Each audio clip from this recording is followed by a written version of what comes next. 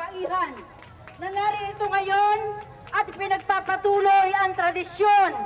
Oktubre 28, 1983. Isang karangalan po sa akin.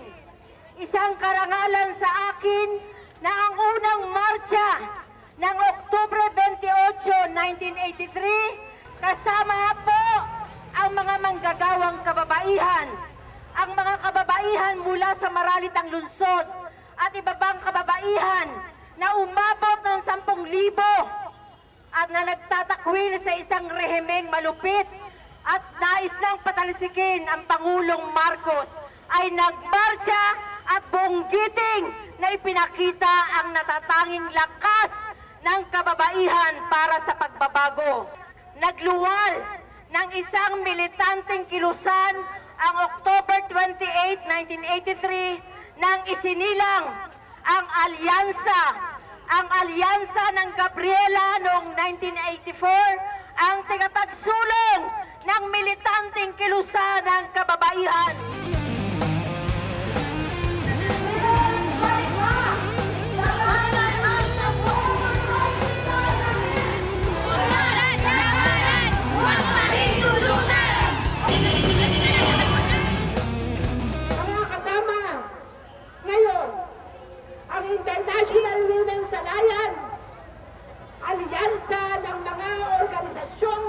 Pangkababaihan sa buong mundo ay nakikisa sa kababaihang Pilipino para ikondina ang reming ito na puppet ng Estados Unidos.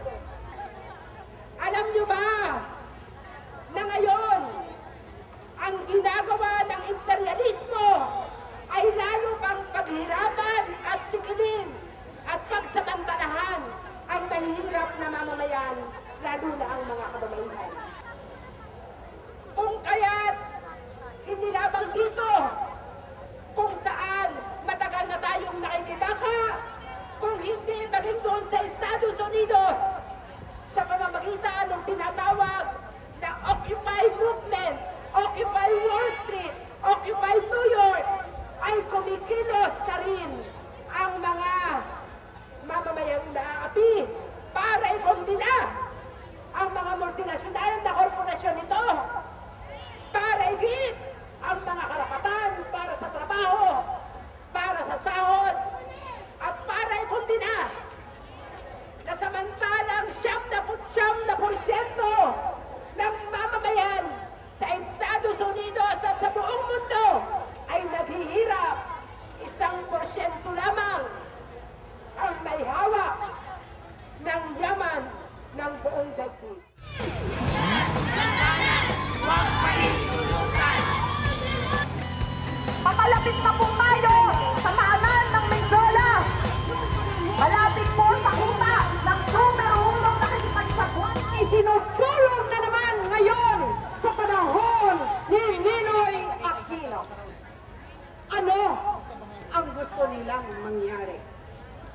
Sa ngayon, ang ating saligang batas ay nagsasabi na 60% dapat ang pagmamayari ay sa Pilipino.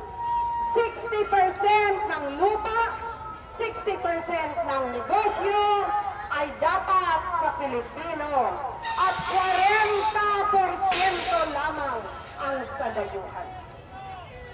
Kahit na merong ganong probisyon, patuloy pa rin ang pagpasok ng malalaking korporasyon. Kung kaya, tutulan natin itong panibagong batas na isinusulong na baguhin ang ating saligang batas. Tutulan, labanan ang tsa dahil ito ay hindi makakabuti sa ating lipunan, sa ating mamamayan, sa ating bansa, sa halip, ang dayuhan na naman ang magkakabulansya, ang dayuhan na naman ang magre-ari ng ating mga lupa, ng ating kabuhayan, at ng ating ekonomiya.